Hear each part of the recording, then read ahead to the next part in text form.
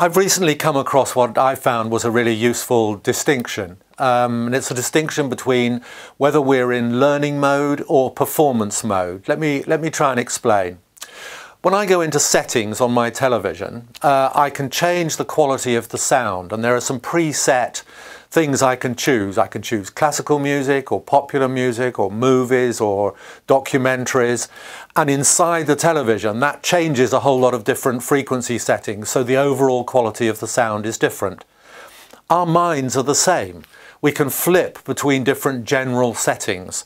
And two of the most important ones, I think, are what you might call learning mode or performance mode. And which of those modes we're in makes a big difference to a variety of different aspects of the way we respond, particularly the way we respond to something that's new or strange or confusing or, uh, or, or unpredictable.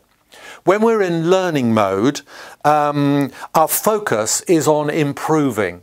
We want to get better long term at things. When we're in performance mode, the focus is on trying to produce a flawless execution, trying to succeed to the best of our ability or trying to impress to the extent that we, that we, that we can. When we're in learning mode, we, our attention is on information that would help us improve, that would help us learn better. When we're in performance mode, our attention might be on how am I going down? Am I impressing well? Am I succeeding? There's a big difference in the way we respond, the way we feel about mistakes. When I'm in learning mode, mistakes are inevitable. They're just part and parcel of the learning process. If I, if, if I, I wouldn't, if I wasn't making mistakes, I wouldn't be learning. Uh, I'm trying new things out, things that I haven't nailed yet. So of course, they're not going to be perfect. They're not going to be adequate. But when I'm in performance mode, when I'm on the stage playing my concerto or um, running around on the football field in the cup final, mistakes can be disastrous. They're things that I don't want to have happen. My attitude to feedback is going to be different.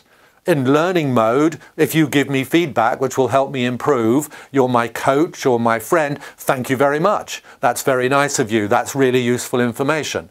But if someone shouts out in the middle of the performance, hey guy, you played a bum note there, then I'm not going to be that pleased. It's going to feel like I've been heckled, like I'm someone's trying to trying to put me down.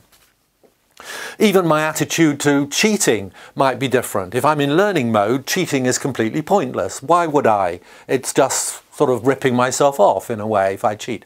But when, if I'm really stuck into performance mode, if the only thing that matters is to create the appearance of success, then it might even it might seem like a rational option for me to download something from the internet and try and pass it off as if as if it were my own if getting an A grade is the only thing that matters. So flipping between these two modes is really important. Both of them are useful.